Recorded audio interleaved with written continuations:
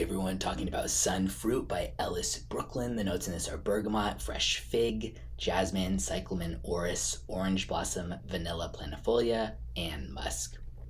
Not the most unique, uh, not that it's by any means like, you know, super generic or something like that, but yeah, but I enjoy it. Uh, to me, it smells really pleasant and appealing. I'm not a big coconut fan, so I thought that might be a little bit of like eh here, but the way that it's blended does not go like over the top coconut, so I definitely don't think you need to be like a hardcore coconut fan to like it. It doesn't get too like, you know, coconut sunscreenish either. It's kind of more of a supporting note to me than the star, and it works really well with the fig and the other notes.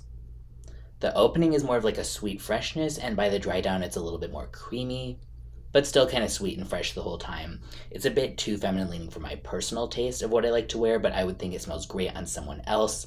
It has low longevity and projection, I will say that, but the scent itself is nice. So I think this would be good to wear in like a more low key situation where it wouldn't necessarily be appropriate to wear something super projecting, depending on where you're going to be. Like if you're going to be in a big crowd of other people or something like that, or professional situation. Uh, and yeah, it leans feminine, but it's not like so over the top fem- feminine. Like I think it could sort of edge to being stereotypically unisex as well at times. $105 for a 50 mil. Um, that's very pricey. If that was for a 100 mil, yeah, totally. But for being like a half bottle size, I think that that's a bit overpriced. But I do think that it smells really pleasant and appealing and nice. It almost reminds me of a slightly more budget friendly version of like City of Stars by Louis Vuitton with that tiare flower note and the sort of slightly tropical vibe. But yeah, I do like it. Um, I will link in the description where you can get a bottle or sample if you want to check it out.